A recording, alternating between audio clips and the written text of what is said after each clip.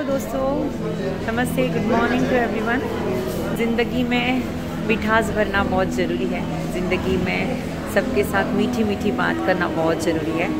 क्योंकि कहते हैं कि ज़िंदगी में सब मिलता है, लेकिन अपने मुँह से आया हुआ शब्द वापस नहीं आता है।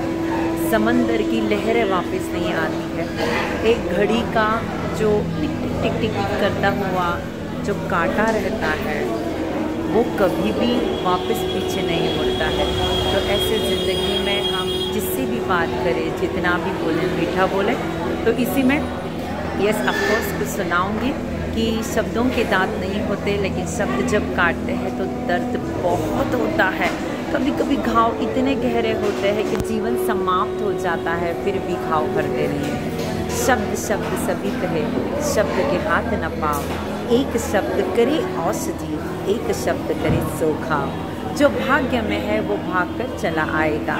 जो भाग्य में नहीं है, वो आकर भी भाग जाएगा। अरे प्रभु को भी शक्ति पसंद नहीं बयान में, इसीलिए दी नहीं हड्डी जबान में। इसीलिए प्रेम चाहिए तो समर्पण खर्च करना होगा।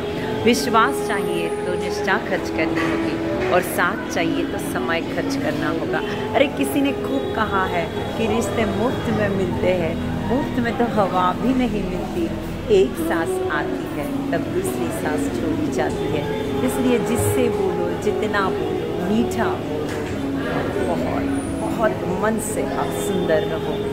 तन की सुंदरता से ज़्यादा है मन की सुंदरता और अपने आयुष्य में, अपने जीवन में, अपने लाइफ में वो बहुत ज़रूरी है। चलो, आज के लिए कि हम किससे भी बोले, प्यार से बोले, मीठा बोले, क्योंकि ज़िंदगी एक बार है, एक बार हम जीते हैं, एक बार मरते हैं, एक बार कहा भी जाते हैं कि बात में कुछ बात हो तो बात होनी चाहिए, जीत होनी चाहिए या मात होनी चाहिए, पीठ पीछे कुछ भी कहना तो बहुत आसान है।